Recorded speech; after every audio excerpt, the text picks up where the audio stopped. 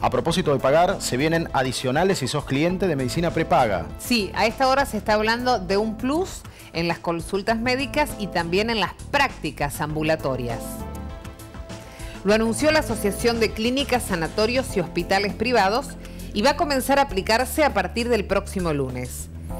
Hay valores orientativos, Adrián. Van a ser de 50 pesos para las consultas y prácticas de baja complejidad y de 100 pesos para estudios de alta complejidad. Y también les van a cobrar a los pacientes que se atiendan en las guardias, pero no va a haber adicionales para las internaciones.